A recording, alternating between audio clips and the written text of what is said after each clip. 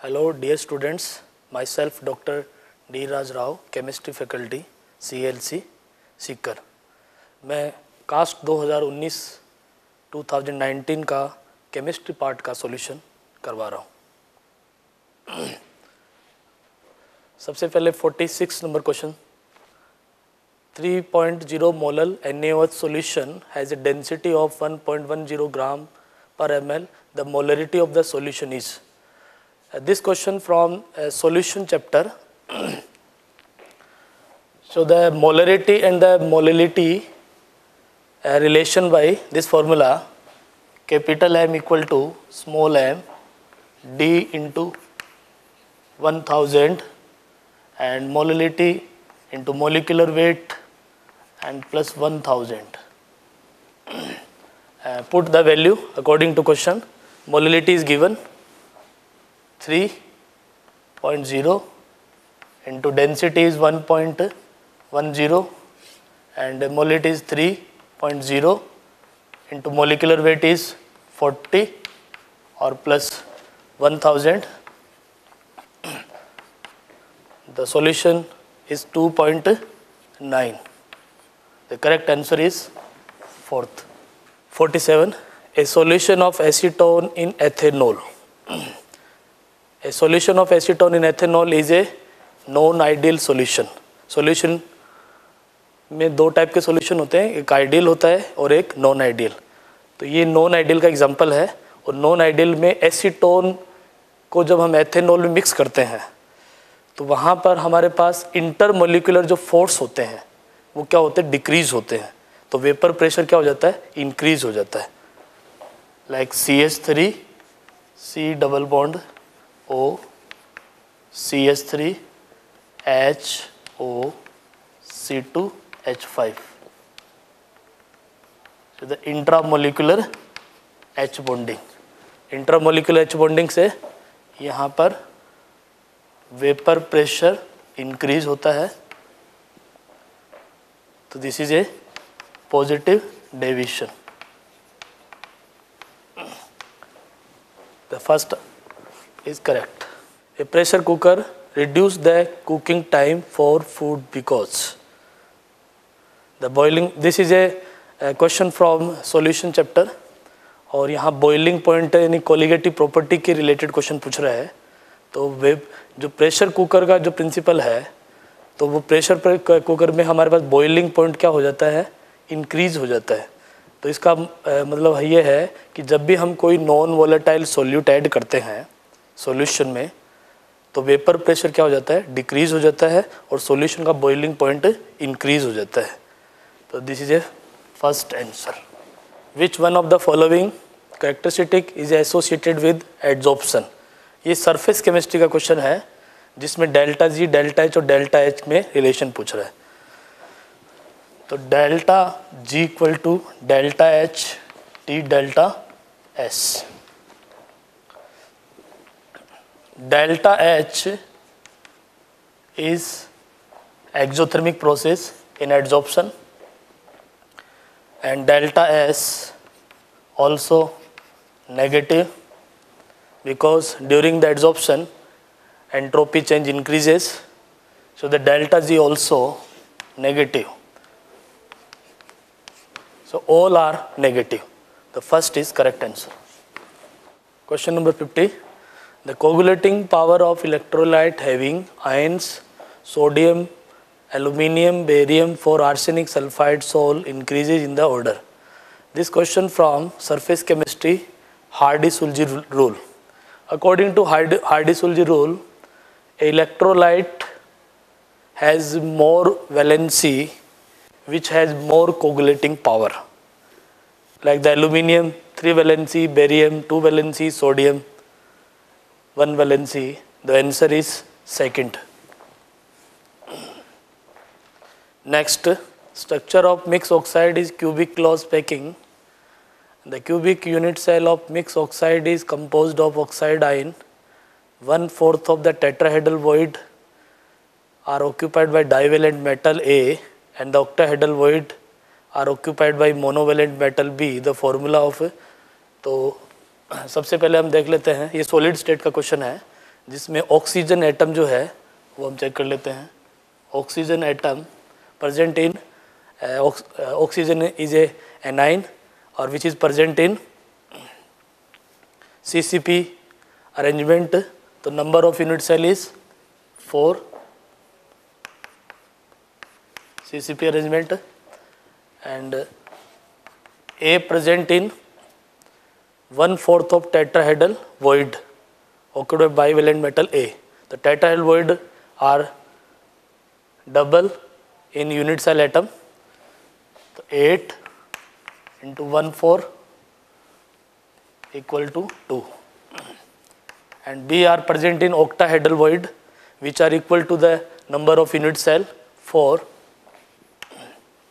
So the simplest ratio is A B to O2. Empirical formula is used. The correct answer is second. Next, the vacant space in BCC lattice unit cell is BCC packing efficiency is 68%. The vacant space 100 minus 68, 32%. This is theoretical question. Third is correct. This question uh, solid state, this question from solid state which is incorrect statement. कौन सा कथन गलत है? तो theoretical question है ये defect का question है. Density decreases in case of crystal with Schottky defect ये सही स्टेटमेंट है क्योंकि शॉर्ट के डिफेक्ट में कैटाइन और एनाइन दोनों का जो साइज़ होता है वो ऑलमोस्ट क्या होता है? सेम होता है. इसलिए डेंसिटी इसमें डिक्रीज होती है. और सेकंड में N is insulator silicon semiconductor silver is conductor quartz is piezo electric crystal ये थियोरटिकल क्वेश्चन है, ये भी सही है। और Frenkel defect is favoured in those ionic compound which the size of cation and anions are almost equal ये गलत statement है, क्योंकि कैटाइन क्या होता है? छोटा होता है एनाइन क्या होता है? बड़ा होता है इसमें। तो इसमें फ्रेंकल डिफेक्ट होती है। फ्रेंकल और सोट की दोनों डिफेक्ट है, वो स्टाइक्योमेट्री डिफेक्ट होती है। और फोर्थ में जो है F E O point nine eight as non stoichiometry defect ये जो है डेफिशिएंसी डिफेक्ट है, वो सही है। तो third is correct answer ammonia form the complex ion with copper in the alkaline solution, but not in acidic solution. What is the reason? देखिए ammonia जो होता है, वो एल्कलाइन मीडियम में जो है, वो एक कोऑर्डिनेट बॉन्ड फॉर्म कर सकता है, यानी कॉम्प्लेक्स बना सकता है, यानी लिगेंड की तरह बिहेव करता है। बट इन एसिडिक मीडियम में ammonia is not available like the ammonia NH3 due to presence of lone pair behave as a ligand और which give the ammonium ion और अमोनियम आयन जो है, वो नॉट ए लिगेंड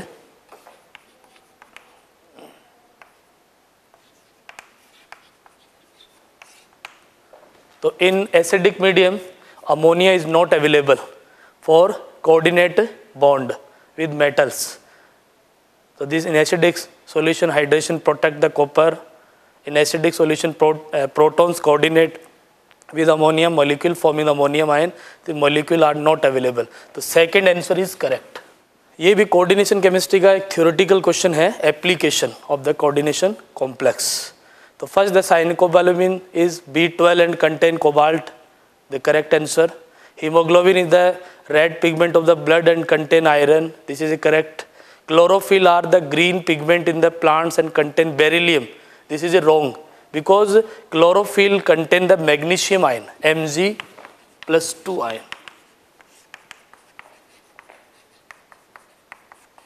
Chlorophyll में magnesium ion होता है और for the carboxypeptidase A is an enzyme of enzyme है और कंटेन द जिंक तो दिस इज़ करेक्ट तो incorrect answer is third which one is German silver ये एक थ्योरेटिकल क्वेश्चन है और ये भी आप देख सकते हो कि जो है इसमें अलोय है ये. German silver is alloy but not contain silver copper zinc and nickel the first answer is correct out of following statement identity the incorrect one ये क्वेश्चन मेटलर्जी का है तो इसमें इनकरेक्ट पूछ रहा है। तो first is the during beneficiation of an or by hydraulic washing lighter gangue particles are washed away leaving ore particles तो ये फ़र्स्ट ऑप्शन क्या है? ये करेक्ट है, क्योंकि जो हाइड्रोलिक वॉशिंग मेथड होता है कंसंट्रेशन मेथड पर क्वेश्चन है ये। हाइड्रोलिक वॉशिंग मेथड है, जिसमें इम्प्योरिटी क्या होती है? लाइटर होती है। और और पार्टिकल्स क्या होते हैं? हैवी होते हैं और दोनों के डेंसिटी के बेस पर ये प्रिंसिपल होता है। और second the pure A L two three can not be obtained by the process of leaching bauxite ore with concentrated solution of sodium hydroxide तो ये इनकरेक्ट है क्योंकि aluminium oxide pure A L two O three react with NaOH uh, which give sodium uh, meta aluminate. This is a soluble complex or the concentration solution of hydroxide form the sodium metailuminate second and third that during froth flotation process or particles are removed as a froth leaving behind gangue ये सही है क्योंकि froth flotation method जो होता है उसमें impurity जो होती है वो वो होती है हैवी होती है वो जो settle down the bottom and ore particles जो है तो फोम झाग के रूप में क्या आ जाते हैं। ऊपर आ जाते हैं सल्फाइड और के लिए एप्लीकेबल होती है। तो ये सही आंसर है। और फोर्थ में sulphide ore can be successful separated by using the froth flotation process by varying oil to water ratio ये भी सही है क्योंकि ऑयल और वाटर का रेशो हम जब डिफरेंट लेंगे तो वहाँ पर हमारे पास फ्रोथ फ्लोटेशन जो प्रोसेस है, वो सल्फाइड और और इम्प्योरिटी को बहुत ईजीली अच्छी तरह से मतलब सक्सेसफुली अलग कर देता है सेपरेट कर देता है। तो करेक्ट जो आंसर है, वो आ रहा है second reaction of trans 2 phenyl 1 bromocyclopentane on reaction with alcoholic cures produce. ये ऑर्गेनिक केमिस्ट्री का क्वेश्चन है एलिमिनेशन रिएक्शन का क्वेश्चन है। तो इसमें सबसे पहले जो हमको trans two phenyl one bromocyclopentane दिया है उसकी स्ट्रक्चर हम ड्रॉ कर लेंगे सबसे पहले। वन पर जैसे हमने ब्रोमिन ले लिया, एक वेज पर ले लेंगे और एक कोई भी दूसरा डेस पर ले लेंगे। ये फिनाइल ग्रुप हो गया, ये हमारा हो गया। ट्रांस टू फिनाइल और वन ब्रोमोसाइक्लोपेंटेन, और इसकी रिएक्शन हम करवा रहे हैं एल्कोलिक केओच तो यहाँ पर ई टू एलिमिनेशन रिएक्शन होगी। ई टू एलिमिनेशन हो रहा है तो इसमें डी हाइड्रो हेलोजिनेशन रिएक्शन है। तो यहाँ से एक हाइड्रोजन रिलीज़ होगा, ये आपका ब्रोमीन तो एच रिलीज़ होकर के which give the this compound और आईपीसी नेम आप इसका चेक कर लीजिए। नंबरिंग जो हम डबल वन से करेंगे वन टू थ्री तो थ्री फिनाइल साइक्लोपेंटीन तो second answer is correct correct order of the boiling point among the following compound is ये बॉइलिंग पॉइंट का क्वेश्चन है तो बॉइलिंग पॉइंट का कॉन्सेप्ट है। बॉइलिंग पॉइंट जो होता है, वो directly proportional to surface area of molecule और वंडरबल फोर्स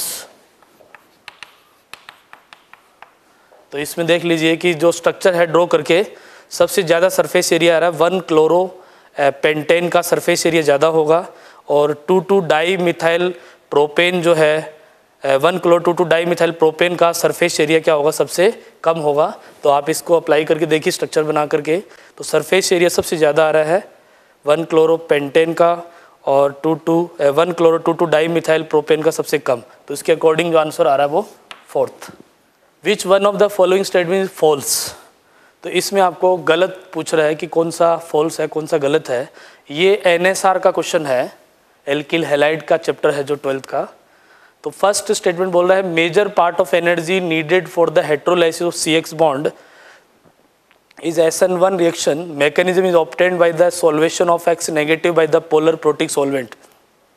सही स्टेटमेंट है क्योंकि polar protic solvent favour the S N one reaction और सेकंड स्टेटमेंट बोल रहा है greater solvation of attacking nucleophile and poor solvation of transition state promote the reaction by S N two mechanism ये गलत है, क्योंकि यहाँ पर जो सॉल्वेशन जो है टेकिंग न्यूक्लियोफाइल का, और पुअर सॉल्वेशन बोल रहा है ये तो ये जो है, हमारा जो है एस एन वन को फेवर कर रहा है तो ये गलत हो गया और थर्ड हम देखें increase in the number of phenyl ring at C of C X cause the shift is mechanism from S N two S N one ये करेक्ट है, क्योंकि एस एन वन जो है, वो फेवर करता है स्टेबिलिटी ऑफ़ कार्बोकेटाइन को, और एस एन टू जो फेवर करता है, वो स्टेबिलिटी ऑफ़ ट्रांजिशन स्टेट को।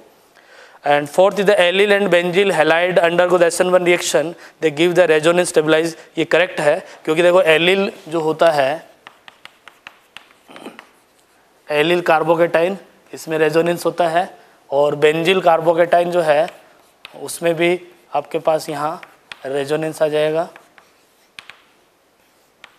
तो both carbocation stabilise by resonance this is a allyl और this is a benzyl carbocation तो करेक्ट आंसर जो है वो फॉल्स स्टेटमेंट पूछ रहा है तो ये second is correct 61 question the general formula of which represent the homologous series of alkanols ये सेचूरेटेड एल्कोहल का फॉर्मूला है, जिसका यू डिग्री ऑफ़ अनसेचुरेशन जो है, वो ज़ीरो होता है मतलब डबल बॉन्ड नहीं होता। और एक एल्केन के एल्केन का जो अपन रिप्लेसमेंट लिखते हैं, एक एच रिप्लेस करके एक वॉच लिखते हैं। तो फ़र्स्ट जो फॉर्मूला है C N H two N O represent the unsaturated aldehyde और कीटोन और फोर्थ जो है unsaturated sorry acid and third is saturated alcohol the third option is correct consider the following reaction तो इसमें ethanol का product पूछा है sequence reaction है। तो सीक्वेंस रिएक्शन में हम सबसे पहले ethanol C H three C H two O H और इसकी रिएक्शन करवा रहे हैं पी बी आर थ्री से तो ये हमारे पास एन हो गई। तो ये जो है हमारे पास लिविंग ग्रुप है एल जी इसको हम रिप्लेस करके यहाँ पर bromine C H three C H two B R ले लेंगे।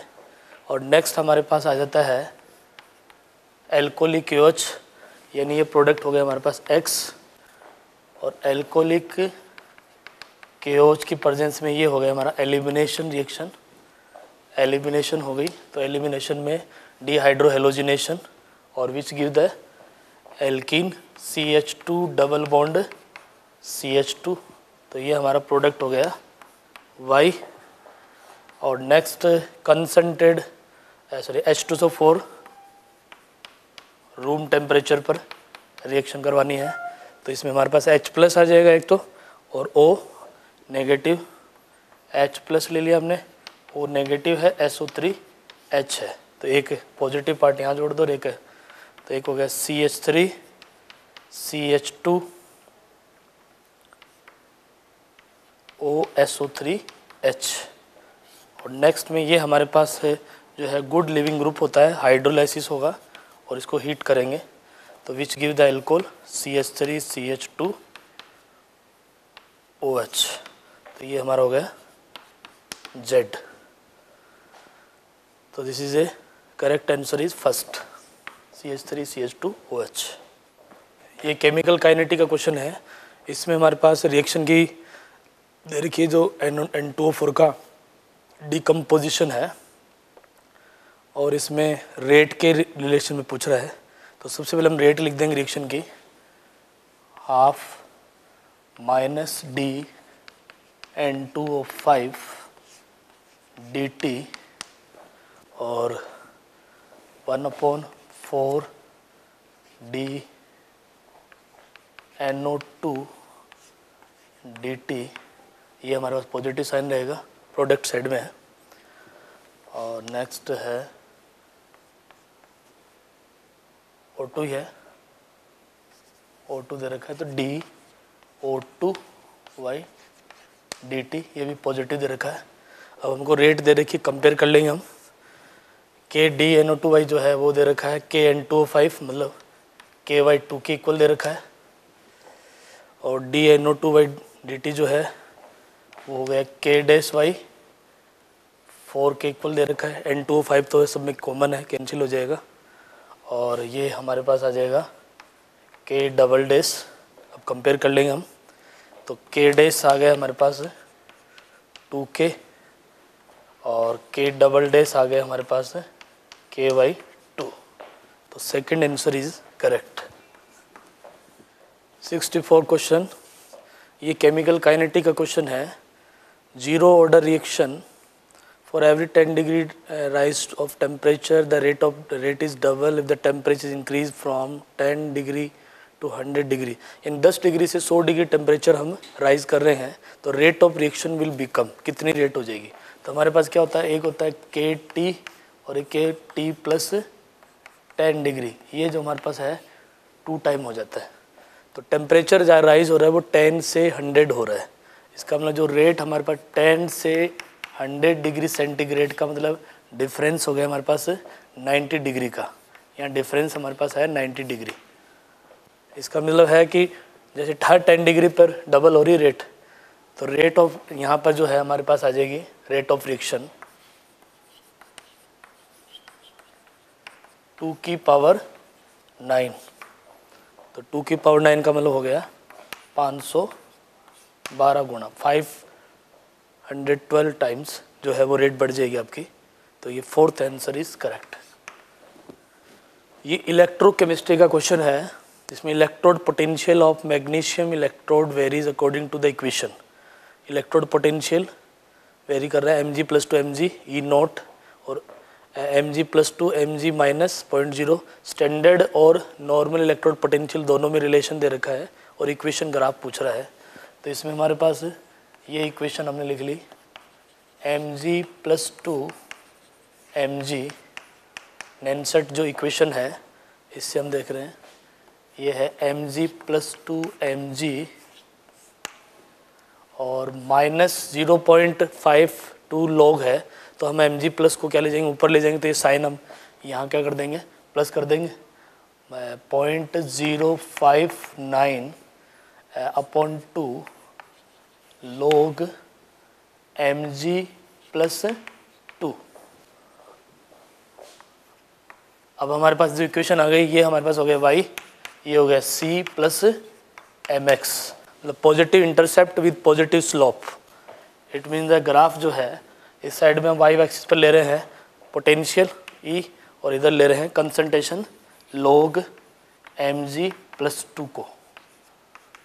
और इधर हमारे पास पोटेंशियल है M G plus two M G तो ये हमारे पास स्लोप आ गया। तो जी सेकंड आंसर इज़ करेक्ट ये भी इलेक्ट्रोकेमिस्ट्री का क्वेश्चन है। Standard electrode potential of the three metals X Y Z are minus one point two point five volt minus three point zero respectively the order of reducing power of this metal तो reducing power जो होता है वो directly proportional to reduction potential it means the more negative reduction potential is a good reducing agent तो more negative is Z and second is x and the third is y. तो second answer is correct ये हमारे पास है। Limiting molar conductivity का question है 67 ammonium hydroxide की limiting molar conductivity अपने को फाइंड आउट करनी है. तो ये हम इसको इस फॉर्म में लिख सकते हैं. Ammonium hydroxide N H four plus और ये OH माइनस तो इन दोनों का अपने को अमोनियम आइन चाहिए और ओ OH माइनस चाहिए. तो ये जो हमारे पास इक्वेशन है, एक अमोनियम क्लोराइड अमोनियम क्लोराइड जो है, इस तरह से आयनाइज होता है। Ammonium plus C L minus और एन जो है, वो इस तरह से आयनाइज होगा। एन ए प्लस और ओ एच माइनस तो हमको ये दो आयन चाहिए। तो इन दोनों को हम क्या करेंगे? सम कर लेंगे। इसमें से अमोनियम क्लोराइड जो है एन है इन दोनों को ऐड करके और एन को माइनस कर देंगे। तो ये हमारे पास है। Second answer is correct which of following pair है द सेम साइज़ तो सेम साइज़ जो है हमारे पास है, ये आपका एफ़ ब्लॉक का क्वेश्चन है। एफ़ ब्लॉक और डी ब्लॉक के अंदर आता है क्वेश्चन जर्कोनियम और हेफनियम जो है, इनको ट्विन एलिमेंट बोलते हैं। इनका आयनिक पोटेंशियल जो होता है ऑलमोस्ट सेम होता है। लेकिन दोनों की वैलेंसी जो होती है, वो इक्वल होनी चाहिए। वैलेंसी डिफरेंट होने से साइज़ डिफरेंट हो जाएगा। Zirconium and hafnium are twin element तो फोर्थ आंसर इज़ करेक्ट इसके बाद हमारे पास नेक्स्ट क्वेश्चन आ रहा है। ये है एफ़ ब्लॉक का लेंथेनोन्स लेंथेनोइड जो एलिमेंट होते हैं लेंथेनोइड सीरीज़ इसके रिगार्डिंग पूछा इनकरेक्ट मतलब गलत कौन सा है? The basicity decreases as the as radius decreases from P R to L U तो ये हमारे पास स्टेटमेंट जो है सही है। क्योंकि यहाँ पर लेंथेनोइड कॉन्ट्रैक्शन लगता है। लेंथेनोइड कॉन्ट्रैक्शन लगातार जो है वो साइज़ क्या होता है? लेफ़्ट टू राइट जाने पे कम होता जाता है डिक्रीज होता जाता है। और सेकंड बोला all the lanthanons are much more reactive than aluminium ये गलत है, क्योंकि ये एलुमिनियम जो आपके पास आ गया तो एलुमिनियम जो है, वो है पी ब्लॉक में। तो ये जो एस ब्लॉक और पी ब्लॉक वाले है, वो तो एफ़ ब्लॉक से ज़्यादा रिएक्टिव होते हैं तो ये गलत हो गया। और थर्ड सीरियम जो है प्लस फोर सोल्यूशन और वाइडली यूज़ है ऑक्सीडाइजिंग एजेंट वॉल्यूमेट्रिक एनालिसिस ये सही है, क्योंकि सी प्लस फोर है जो गुड ऑक्सीडाइजिंग एजेंट होता है, इसको एनालिटिकल केमिस्ट्री में यूज़ करते हैं, इसका स्टैंडर्ड रिडक्शन पोटेंशियल जो होता है, वो पॉजिटिव होता है, और fourth is europium has the show positive oxidation state ये भी सही स्टेटमेंट है तो हमारे पास जो है second incorrect seventy number the silicon dioxide अब सिलिकॉन डाइऑक्साइड होता है एस आई ओ टू और silicon dioxide has three D network like structure three D network structure three D network structure होता है इसका। तो इसमें क्या होता है? सिलिकॉन एटम जो है, इस तरह से सराउंडेड होता है ऑक्सीजन एटम से। फिर सिलिकॉन एटम होता है, फिर इस तरह से, फिर ऑक्सीजन एटम होता है। फिर इसके बाद फिर सिलिकॉन एटम होते हैं इससे।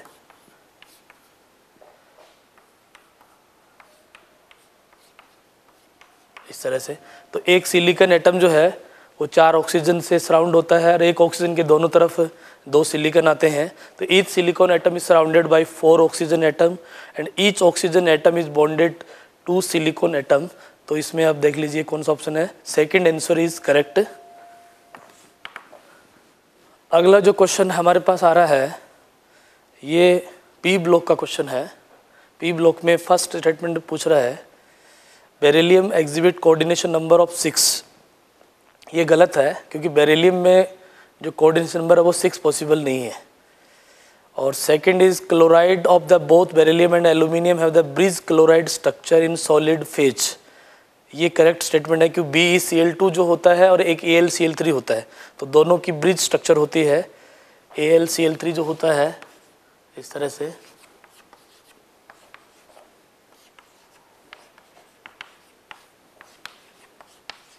ये ब्रिज स्ट्रक्चर में आता है। और बेरेलियम का क्लोराइड है, उसमें भी हमारे पास इस तरह का स्ट्रक्चर रहता है।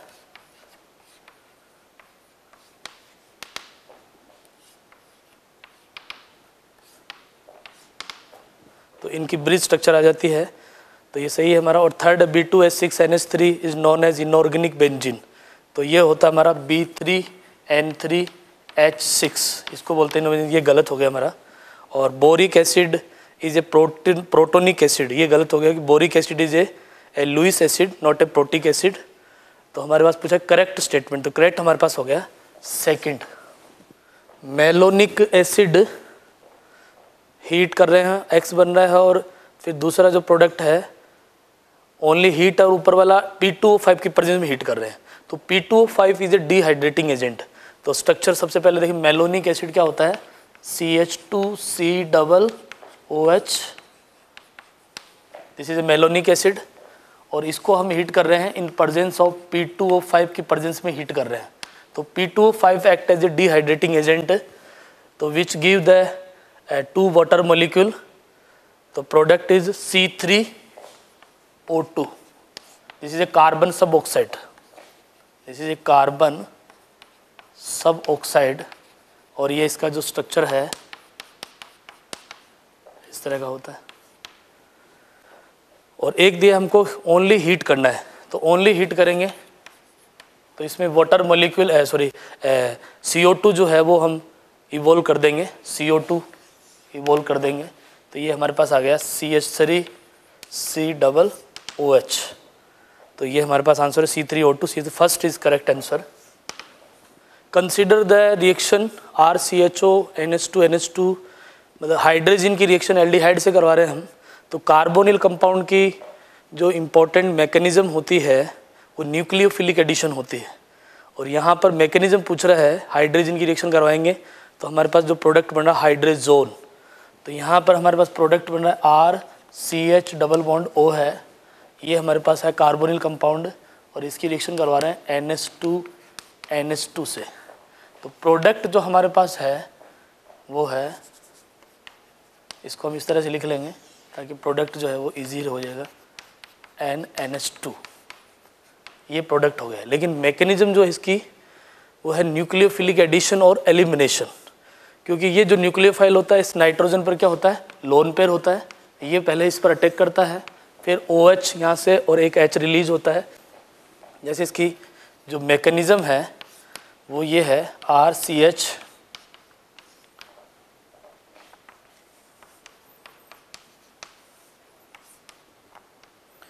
इसके ऊपर पॉजिटिव डेवलप होगा, इस पर नेगेटिव डेवलप होगा। तो ये यहाँ पर इस पर अटैक कर लेगा। और अटैक करने के बाद में यहाँ जो है प्रोडक्ट बन जाएगा आर सी एच एन ये हुए ओ नेगेटिव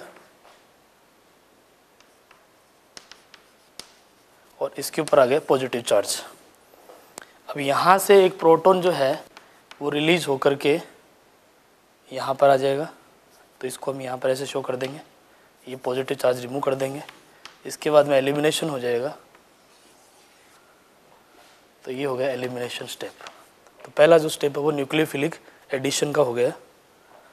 ये है न्यूक्लियोफिलिक एडिशन और उसके बाद में elimination R C H double bond N N S two तो ये न्यूक्लियोफिलिक एडिशन एलिमिनेशन रिएक्शन हो गई।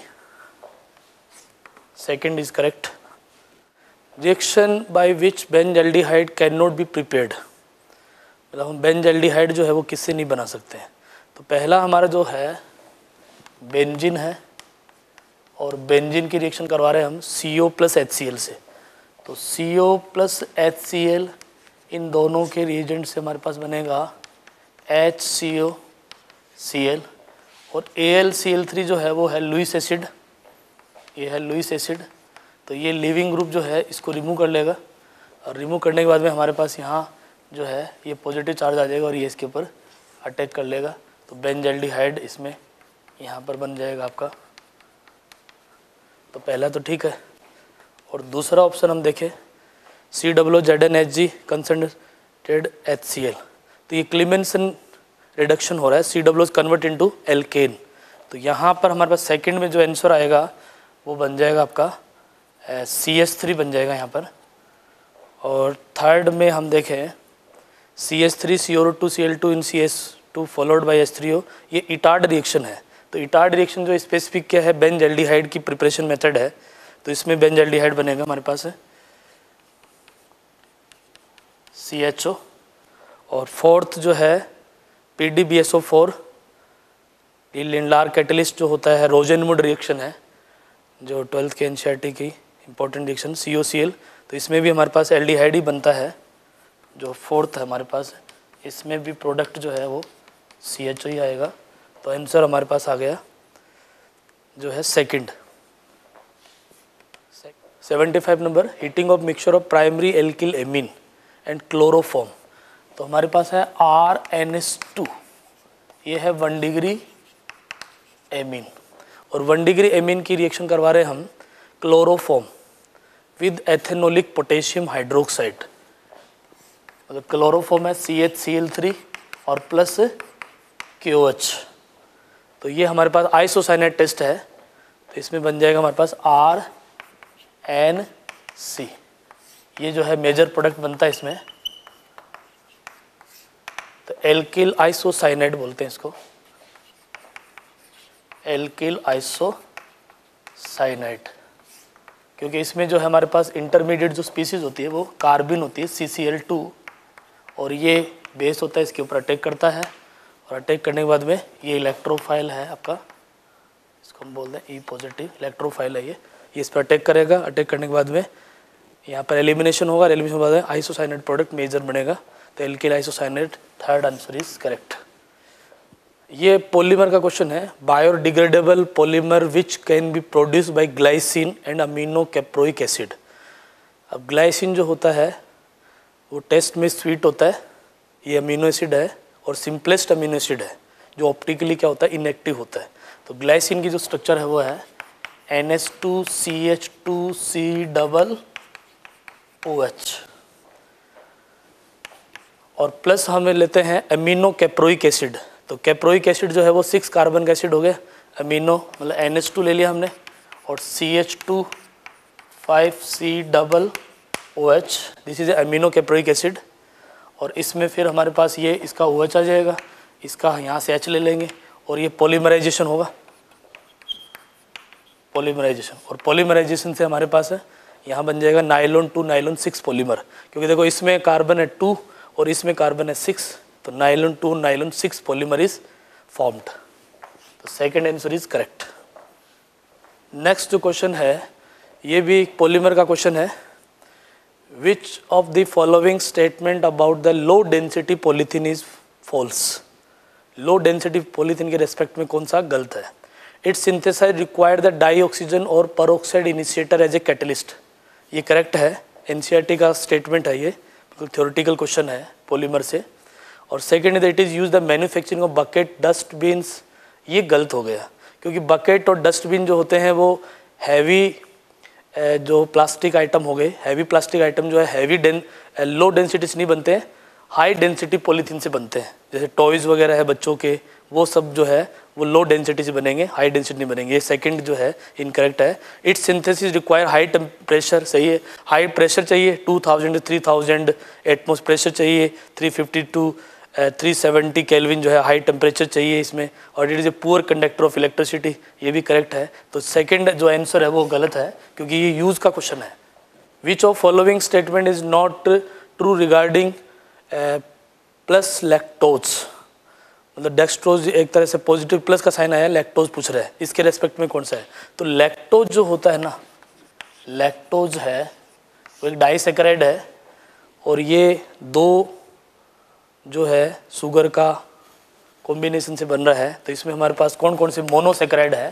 जैसे ये डाइसेक्राइड है और दो मोनोसेक्राइड के कंपोजिशन से बन रहा है तो इसमें हमारे पास ये होता है एक तो बीटा गैलेक्टोज और प्लस बीटा डी ग्लूकोज इन दोनों से ये बनेगा। बीटा डी इसमें भी ये दोनों पॉजिटिव होते हैं डेक्स्ट्रोटेटरी होते हैं और ये भी पॉजिटिव होता है। और ये भी डी होता है और इसमें भी प्लस साइन आता है। तो दोनों का पोलिमराइजेशन से पहला ऑप्शन जो है वो plus lactose is a beta glycosidic सही बीटा दोनों बीटा है तो बीटा ग्लाइकोसाइडिक जो बॉन्ड है वो फॉर्म होगा। और सेकंड है lactose is a reducing sugar lactose reducing sugar है, लेकिन does not exhibit mutarotation ये म्यूटा रोटेशन शो करता है, क्योंकि जो भी रिड्यूसिंग शुगर होती है। All reducing sugar show the mutarotation तो ये जो सेकंड है, वो गलत है। और लैक्टोज सी से C twelve H twenty two O eleven contain eight O H सही है, क्योंकि इसमें भी अपने पास जो है एच जो है, वो एट फोर होते हैं फोर इसमें होते हैं। तो टोटल इसमें हमारे पास एट होते हैं, ये सही है। फोर्थ में on hydrolysis lactose gives equal amount of दोनों का इक्वल इक्वल अमाउंट आता है। इसमें बीटा डी गैलेक्टोज और बीटा डी ग्लूकोज का। तो ये जो हमारे पास है म्यूटा रोटेशन वाला ये जो बोल रहा है नोट तो ये जो है करेक्ट आंसर हो गया second which one of given below is a non reducing sugar तो ये बायोमोलिक्यूल का क्वेश्चन है। लैक्टोज जो है, वो रिड्यूसिंग शुगर है। ग्लूकोज रिड्यूसिंग शुगर है। माल्टोज है, वो रिड्यूसिंग शुगर है। Sucrose is a non reducing क्योंकि इसमें दोनों जो फ़ंक्शन ग्रुप होते हैं, वो दोनों ही बाइंड होते हैं रिंग में। इसलिए ये जो है नॉन रिड्यूसिंग शुगर होता है। मोनोसेक्राइड जो है, वो सब रिड्यूसिंग होते ही हैं। और डाइसेक्राइड में सारे नहीं होते सुक्रोज जो होता है, उसमें फ़ंक्शन ग्रुप दोनों जो होते हैं, वो बाइंड होते हैं। ग्लूकोज और फ्रक्टोज का जो है, ये पॉलीमर है सुक्रोज तो थर्ड इज़ करेक्ट ये केमिस्ट इन एवरीडे लाइफ का क्वेश्चन है एंटीसेप्टिक एंड डिसइंफेक्टेंट और prevent the growth of microorganism identity which of following statement not true तो dilute solution of boric acid and hydrogen peroxide are mild antiseptic ये सही है boric acid का dilute solution होता है, वो एंटीसेप्टिक होता है। और disinfectant harm the living tissue disinfectant harm the living tissue ये भी सही स्टेटमेंट है। और थर्ड है point two solution of phenol is antiseptic while the 1% solution act as a disinfectant. Point two solution जो है एंटीसेप्टिक है और वन परसेंट डिसइनफेक्टेंट ये भी करेक्ट है। और chlorine and iodine are use as a strong disinfectant ये गलत है। क्योंकि आयोडीन जो है क्लोरीन है, वो एंटीसेप्टिक होता है इसमें। तो इसमें हमारे पास पूछा नॉट ट्रू तो ये जो है करेक्ट हो गया fourth artificial sweetener which is stable under the cold condition only each sweetening agent का क्वेश्चन है, ये भी केमिस्ट ने एवरीडे लाइफ का क्वेश्चन है। सैक्रीन जो है ये हमारे पास एक आर्टिफिशियल स्वीटनर है। सुक्रालोज है this is a trichloro derivative of sucrose और एस्पार्टेम एस्पार्टेम जो होता है वो कोल्ड कंडीशन पर क्या होता है? स्टेबल होता है। जो कोल्ड ड्रिंक वगैरह होती है, उनमें इसको मिक्स करते हैं एस्पार्टेम को। और ये हंड्रेड टाइम जो होता है more sweeter than saccharin and alitame is two thousand more sweeter than saccharin alitame जो है वो स्टेबल होता है कुकिंग टेम्परेचर पर। एस्पार्टम जो है कोल्ड कंडीशन पूछा है स्टेबल कौन सा है? तो third is correct answer n butane is produce by monobromination of ethane followed by Wurtz reaction calculate the volume of ethane at N T P required to produce 58 gram of n butane the bromination take place with 90% percent and the Wurtz reaction with 85% five percent तो इसमें हमारे पास क्या होता है? N butane produce करना है हमको product monobromination of ethane तो इथेन ले लिया हमने। ये इथेन है। और इसकी रिएक्शन हम करवा रहे हैं ब्रोमीन से बी आर टू से। तो प्रोडक्ट हो गया C H three C H two B R Wurtz reaction में सोडियम की प्रेजेंस में होती है। इसको सोडियम की प्रेजेंस और ड्राई ईथर यहाँ सॉल्वेंट होता है। तो जिसमें प्रोडक्ट हमारे पास बन जाता है C H three C H two C H two C H three ये बनेगा एन ब्यूटेन तो इसके हम, हमारे को चाहिए दो मोल. इसके दो मोल से ये प्रोडक्ट बनेगा और साइड प्रोडक्ट बन जाएगा हमारे पास N A B R N A B R के टू मोल. तो एन ब्यूटेन हमको चाहिए यहाँ पर. और लेकिन ये इल्ड जो है हंड्रेड परसेंट नहीं है. एक की नाइन्टी परसेंट है, फिर इसकी एटी फाइव परसेंट है. और एन टी पी के ऊपर हमारे पास जो वॉल्यूम होता है वो twenty two point four litre होता है. पी के ऊपर। तो यहाँ पर हमारे पास टू मोल से आ रहा है ये।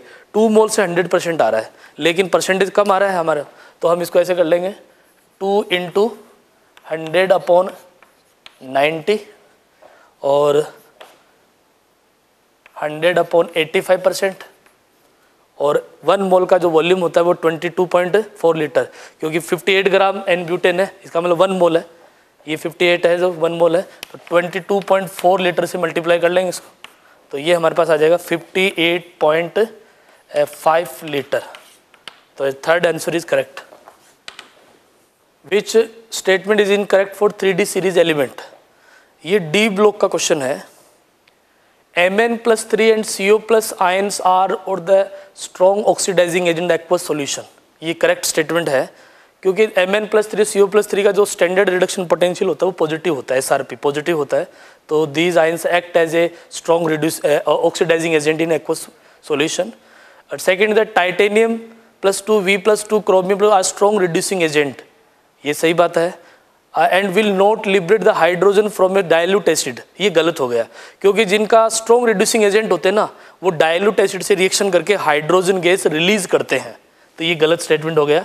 और थर्ड बोल रहा है nickel have more negative E not Ni plus to Ni value than expected from the general trend due to highest negative enthalpy hydration. ये सही है, क्योंकि 3D सीरीज़ में Ni plus टू जो होता है, इसका साइज़ स्मॉल होता है और स्मॉल साइज़ होने के कारण इसका हाइड्रेशन क्या होता है, ज़्यादा होता है और हाइड्रेशन ज़्यादा होने के कारण इसका स्टैंडर्ड रिडक्शन पोटेंशियल एसआरपी है, वो नेगेटिव आता है।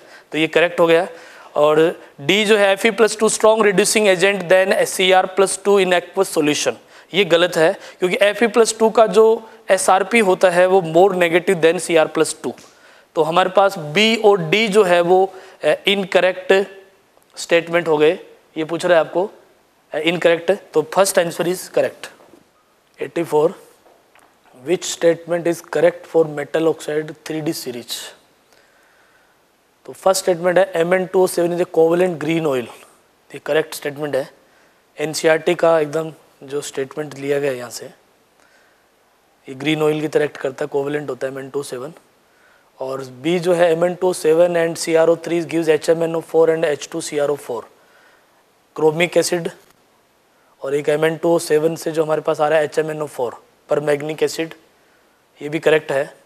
और V two O five react with alkali as well as acid to give the V O four तो वी टू ओ फाइव जो है, वो एल्कली से रिएक्शन कर रहा है और एसिड से भी रिएक्शन कर रहा है और विच गिव द ये है एल्कली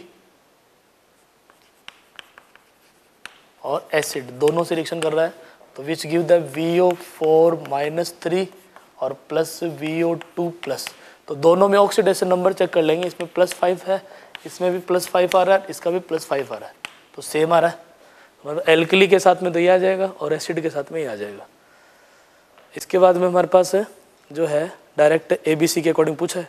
तो स्टेटमेंट आपका कौन सा करेक्ट है? तो फ़र्स्ट करेक्ट हो गया हमारा सेकंड जो है करेक्ट हो गया थर्ड करेक्ट तो ए बी सी तीनों ही करेक्ट हो गए। Second answer is correct next eighty five which of following is incorrect ये जो है मेटलर्जी का क्वेश्चन है।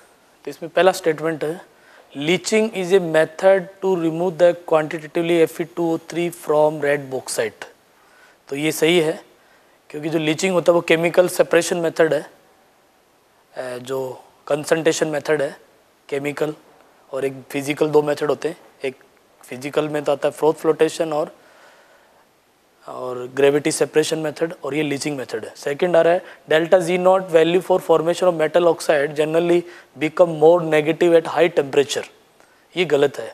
यहाँ पर लिखा डेल्टा जी नॉट और value for formation of metal oxide formation नहीं डिकम्पोजिशन के लिए ये ज़्यादा नेगेटिव होता है। क्योंकि आप डेल्टा जी जो लेते हो delta H T delta S तो यहाँ पर जब भी कोई मेटल ऑक्साइड का फॉर्मेशन होता है, ये मेटल और प्लस फ़ोटो से मेटल ऑक्साइड फॉर्म हो गया। तो यहाँ पर हमारे पास एंट्रोपी जो है वो डिक्रीज हो रही है।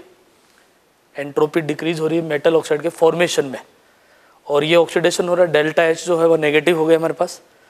तो इसमें delta G not value formation of metal oxide generally become more negative पूछ रहा है। तो ज़्यादा नेगेटिव कब होगा जब हमारे पास है ये जो टी जो है हम इंक्रीज करेंगे, ये टी बढ़ाएँगे तो डेल्टा जी हो ज़्यादा नेगेटिव होगा। तो ये हमारे पास जो है सेकेंड है वो इनकरेक्ट हो गया। और metallurgy of gold involve the hydrometallurgy process from soluble complex formation and its convenient reduction ये सही है। हाइड्रो मेटलर्जी जो हम यूज़ uh, करते हैं इसमें गोल्ड के लिए गोल्ड और एजी के लिए दोनों के लिए साइनाइड प्रोसेस जो होता है मैकोर्थर फॉरेस्ट प्रोसेस है।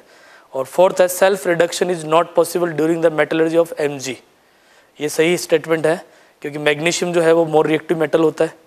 तो सेल्फ रिडक्शन इसमें नहीं होता। सेल्फ रिडक्शन जो है कॉपर में है पीबी में एच में इनमें एप्लीकेबल है। तो सेकंड इज़ करेक्ट आंसर सबसे पहले रिएक्शन हमको दे excess of N solution was added to 100 M L of F E C L three तो F E C L three का है 100 एम एल वॉल्यूम गिवन है। और एन एच ये दे रखा है एक्सेस में। और ये बनेगा F E O H whole whole thrice और प्लस एन का three mole hundred M F solution which gives a two point one four gram of H whole thrice तो इसके जो मोल है वो पहले फाइंड आउट कर लेंगे हम, क्योंकि limiting reagent F E C L three उसके अकॉर्डिंग इसके जो मोल है दोनों के इक्वल आ जाएँगे ओ थ्री के। तो मोलरिटी फाइंड आउट कर लेते हैं मोल से मोलरिटी आ जाएगी। तो एन अपॉन वी होता है। तो मोल क्या हो गया हमारे पास? वेट हो गया टू पॉइंट वन फोर और मोलिकुलर वेट एफ़ का हो गया वन ज़ीरो सेवन ये हो गया हंड्रेड ये हो गया वन थाउज़ेंड तो ये हमारे पास आ जाएगा।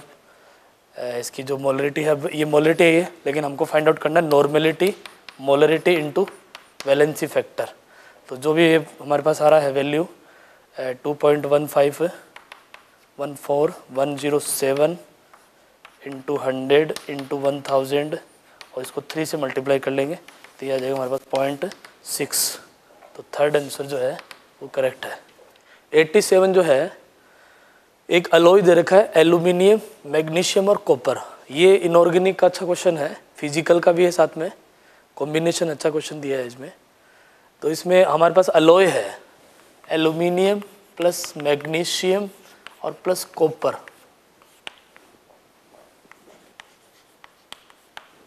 अब इसकी जो रिएक्शन हम करवा रहे हैं सबसे पहले, एक एल्कली के साथ। जैसे लाइक हम एन से रिएक्शन करवा रहे हैं। तो एन के साथ रिएक्शन कौन करेगा? एल्यूमिनियम करेगा। एल्यूमिनियम एम्फोटेरिक मेटल होता है। तो ये बना लेगा N L O two sodium meta aluminate sodium meta aluminate बना लेगा ये।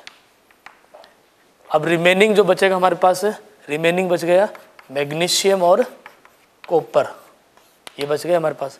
अब ये जो रेजिड्यू जो हमको वेट दे रखा है इसका 2.10 ग्राम तो हम एल्यूमिनियम का यहाँ निकाल लेंगे वेट एल्यूमिनियम जो हमारे पास आ जाएगा, इसमें माइनस कर लेंगे। ये जो पूरा वेट हमारे पास है सैंपल का, इसका दे रखा क्वेश्चन में 8.72 ग्राम तो एल्यूमिनियम कितना हुआ हमारे पास? है 8.72 माइनस टू